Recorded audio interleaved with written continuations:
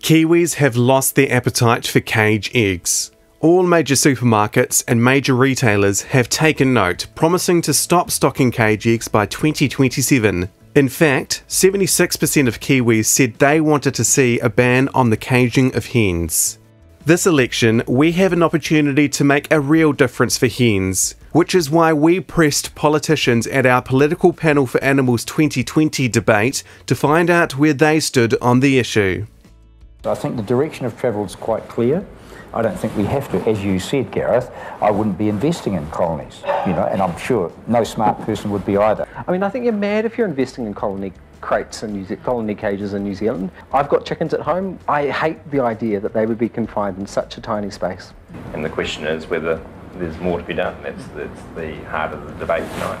You know, how much more to be done in what time? Within that whole animal welfare space, uh, that's the one that probably uh, alarms me the most. And, and I'm not really an expert on it, but I, I think what I'm seeing, and I know it's better than what it was, but I think we could probably go faster in that, that direction.